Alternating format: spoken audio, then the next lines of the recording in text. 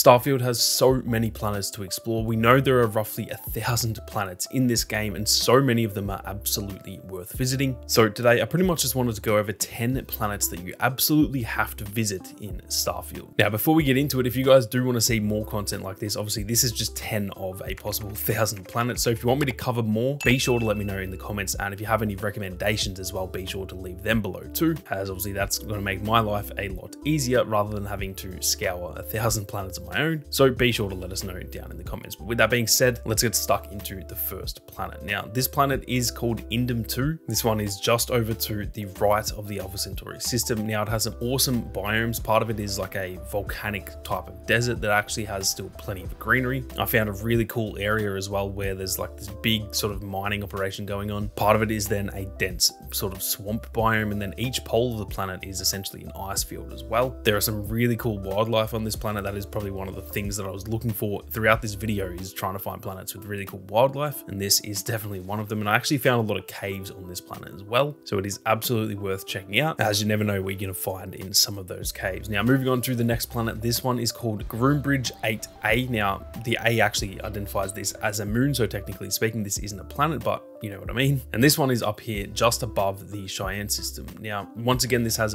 awesome wildlife. It has multiple different forest biomes. Some of them are sort of green colored, some of them red, and some of them are actually blue, which I thought was pretty cool. The grass is essentially blue in those sections as well as the plants. So it's kind of like there are three different biomes, all of which are pretty much identical. It's just that they have different color palettes, for example. So definitely a very cool planet to check out. Like I said, there are some awesome wildlife on this planet as well. And there's also lots of mountain ranges. So you can kind of get up and get some really good views. I saw a lot of structures and stuff off in the distance, so I'm sure there are plenty of different things to find on this planet as well. Now, next up we have Cassiopeia 4a, which again is another moon. This is located all the way up in the top left of the map. Now, it's mostly a desert planet, but it does actually have a plateau biome that is also really nice and green. The thing that I found amazing about this planet is just the sheer amount of wildlife. You can see in this clip here, there is just a million different little species of creatures running around, and a lot of them are actually sort of fighting each other. You walk around and you'll find heaps of like almost little wars going on between a lot of these different species. And I thought that was pretty cool. The desert area of this planet I thought looked absolutely amazing. And just like the other planets, there was actually a lot to find here. So this is definitely another one that is worth checking out for you guys. Now, next up we have the Rasalhague 2 planet, which I probably butchered the pronunciation of that name, but I'm just going to go with that for now. This one is located up and to the right of Alpha Centauri, and it has some very, very different biomes on this planet. Uh, there are frozen fields down the bottom of the planet. I believe there might be some up the top as well. There are then two different biomes with essentially entirely different color palettes and some very odd rock formations. They both do look very similar to each other, but one of them has sort of green grass and the other one has red grass. But the most interesting part about them for sure is those very weird rock formations that you can see just scattered throughout the planet. Now, I climbed a few mountains on this planet too, and you could see the view and you could see just how many man-made little structures that there were. I'm sure there are absolutely insane things to find on this planet. Pretty much all of the man-made structures tend to have either something cool in them or even just a bunch of like ammo and just different loot to steal. So this planet definitely seems like there is an abundance of stuff to find. And I know I will definitely be going back there and trying to get a heap of loot from some of these structures. Now, next up we have Bradbury 3, and this is just up and to the left of the previous system that we touched on. This one is a very, very weird planet. I found some absolutely clapped wildlife here. There are some weird like scorpion spider looking things,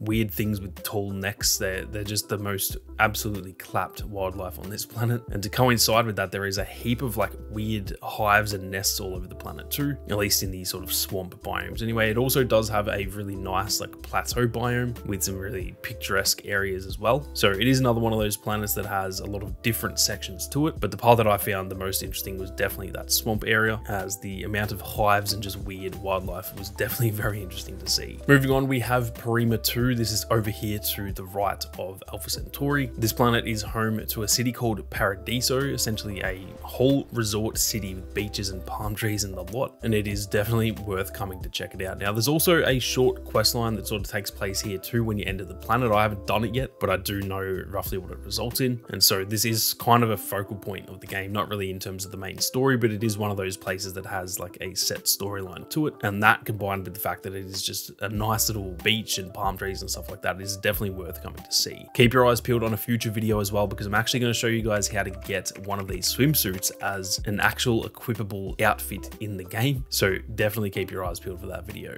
Moving on, we have Ursa Major 2 and this is located up and to the right of Alpha Centauri. Now there's some awesome mountain ranges with plenty of man-made structures just like one of the previous planets in this video, but there's also another biome that is similar with a sort of red color palette too. And there's even an ice plains biome on this planet as well. So it's another one with very different and sort of varying biomes on there. It is probably one of the nicer looking planets that I've come across so far. It is definitely very picturesque. And like I said, with those mountain ranges, they are absolutely massive. It definitely seems like they are bigger than on most other planets. And you can get some very nice views up here as well as being able to sort of scope out where you want to go and explore. Moving on, we have Serpentis 3 located on the far right of the map. Now, this has essentially only a swamp biome or frozen plains. The thing that I found to be very interesting about this planet is that, at least from my time being there, it seems like it is pretty much stormy at all times. As you can see, there is like lightning going on in the background. It's raining, it's very foggy. Even the frozen plains area is pretty much always misty. And across both of those biomes, it kind of gives the planet a bit of a spooky sort of feeling because you just can't really see all that far ahead of you. Now, something that I also found on this planet is these absolutely sick looking creatures. They're also very hard to kill, but they also look amazing. They have six eyes and pretty much all three of those sets of eyes